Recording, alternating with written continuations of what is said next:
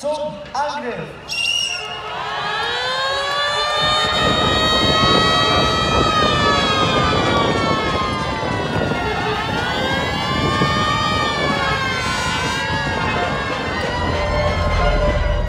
In we are all the same. We are all firefighters. We don't look on politics. CTIF was strong during the Cold War. There was firemen from both sides of the Berlin Wall. It, it worked, and that's for me a big advantage today as it was in the past. Firefighters' work is getting increasingly more and more complex and dangerous. CTIF was founded in the year 1900 in Paris, France, with the main objective to exchange knowledge and lessons learned between fire and rescue services. Although society has changed a lot since then, the main objectives remain the same.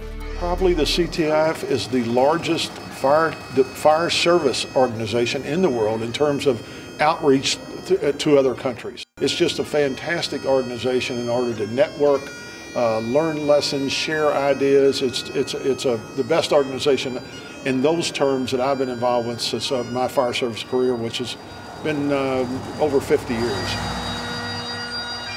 So many countries who do some good things and uh, if we, we don't uh, network and we don't talk to each other then they don't know about it and if we have an, this uh, organization we can spread the information over the, all over the world. This is the, the most important thing for me that there's so, so much of knowledge in these different countries and in our delegates and, and friends and this is I think the most important thing for me. Day by day, fire and rescue is constantly becoming more complicated. Therefore, it is important to cooperate with the industry to develop new techniques.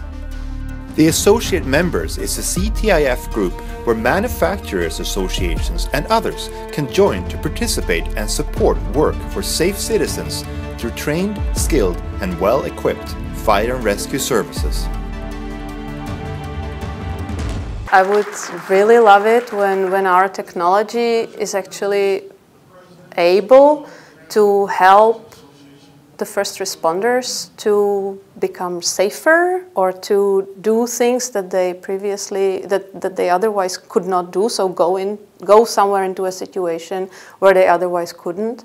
CTIF as its name implies is an international technical body. Um, it provides access in one sense to a global community that involves many different ideas and thoughts and that perspective is a is a very important one. It makes you, it renews how you think, it makes you think again, um, and some good ideas translate from that.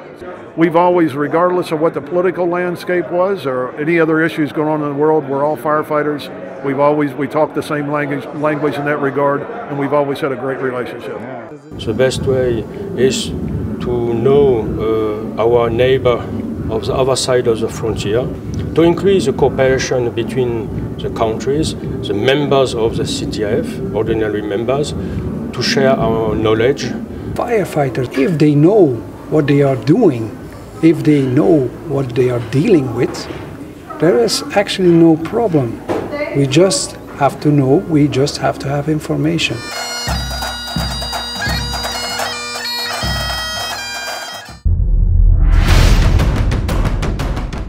CTIF develops comprehensive world fire statistics with up-to-date data from 80 different countries and 90 capital cities.